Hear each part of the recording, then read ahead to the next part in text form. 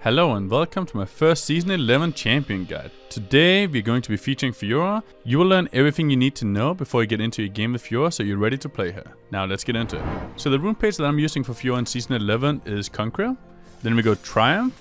We go either Alacrity, Tenacity, or Bloodline, depending what you're against, right? Alacrity if you want more attack speed, don't need any of the other two. Tenacity if you're against a bunch of tanks with CC. And Bloodline, if you don't really need anything, you just get to heal up a lot. For example, if you're taking poke from a Jace or something like that. Then the last one, we take Last Stand, always. It's just the best one, it's superior to everything else, and it's great. In the second tree, if you're against extreme poke, you can go Second Wind and Revitalize. Generally, you don't want to do that. You want to opt in for Biscuit Delivery and Boots, Magical Footwear and Inspiration. Those are generally the best runes that I'm running. Then the small runes, we have Attack Speed, AD, and Armor. You could opt in for AD in the first one instead of Attack Speed, but most of the time attack speed just feels nicer, so I'm going for that one. But it doesn't matter too much which one of those you take. In the last one you can also go magic resist if you're against magic damage dealers, that makes a lot of sense. Now let's get into the juicy stuff. There's a lot of new items and my item build for Fiora is actually insane healing. So let's talk about it. The first item you go for is generally Goredrinker. It's not that important which of the small items you get first, you get into Goredrinker. Once you have Goredrinker you have to make a decision, do you want to Rust Boots and upgrade them or are you going for Ravenous Hydra? Both those items are something you want, so you can choose which one you go first. If you choose to go Boots you want to get Mercury Treads or plated steel caps. Generally, I would try and get Ravenous Hydra first if I don't need the boots, and then after that I'll get the boots. Once you got those items, you want to get a Death's Dance next, or a Sterak's, depending on what you need. If you can split push and heal a lot, you go Death's Dance. But if you're getting chunked down instantly and you die really quickly, then you want to go for Sterak's. Then after that, you get the second of those options, and last but not least, you get a Guardian Angel. Often you will die sometime. Guardian Angel is amazing in Fiora, it's a really really good last item, and that is what finishes up your build. Let's go with Fiora's abilities. So, the passive is a vital that spawns on either side of the champion. There's four sides. You can spawn on either side. When you hit it, you do a little bit of damage, you get movement speed, and you also heal a tiny bit. It's the most important thing about Fiora. You have to hit those vitals. The opponent is going to try and dodge you from hitting them. Next up, we have Q, Lunge. Uh, the Q ability does a little bit of damage when you hit people. You dash forward, and the cooldown gets reduced by 60% when you hit it. So it's very important you always hit your Qs. Don't miss them.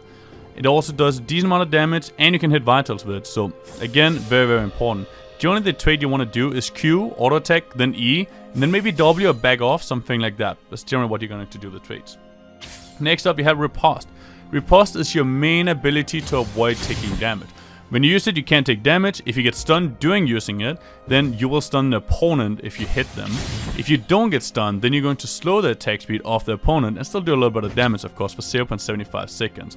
This ability is super important. If you're playing against a guy that's stunned, you Q in, maybe E or auto E, and then W. If you can get hit by the stun and then you stun him, you have a really good chance of killing people. For example, if you play against Jax, you will kill almost every single time. Another important thing about this ability is it's somewhat difficult to hit. But if you E first, then you slow the opponent with the E ability, and then it's much easier to hit, so try and remember that one. Next up, we have the E ability. Bladework. We just talked a little bit about it. Bladework will, you activate it, and then it's an auto attack reset as well, so you can auto attack and then E and hit really quickly. When you use your E ability, you get a little bit of range. 175 range is going to be your range now. I think normally you have 125, that should be accurate. Uh, when you hit this ability, you slow the opponent on the first one, and the second one you do extra damage. So it's very, very important to use this ability in combination with your W or with your ultimate for that sake. Last but not least, we have your ultimate. When you use your ultimate, uh, 4 vitals spawns around your opponents in every single direction. If you hit all the vitals, then your ultimate is going to proc, and once it procs, you're going to be healing a lot per second. 80, 110, 140 plus 6% your bonus AD, so that's going to be a ton of healing. Very, very important to hit this ability, and it also does a lot of damage because vitals do extra damage when you hit them. Um, you also get a little bit of movement speed when you use this ability on people, so it's good for catching people. And one thing to note is you don't have to hit every single vital. You can hit some of them, and then if the person dies to your teammates, or if you just kill the person, then you're still going to get the healing.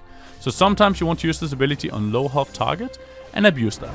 Next up we have Fiora's skill order, this is very important to know. So first thing you want to max is Q, second thing you want to max is E, and third thing is W. Obviously always take ultimate whenever you can. Um, for level 1, 2, and 3, you're generally going to go Q, W, E, and then Q, Q, Q as much as possible until E. Uh, one thing to note, sometimes you do want to go QE if you're much stronger than the opponent and you just want to damage them. But generally, you're going to go for W second. Alright, that's it for this short Fiora guide. I hope you guys liked it. If you liked it, leave a comment below. Tell me what you guys think. and I'll see you guys in the next guide. Peace, everyone.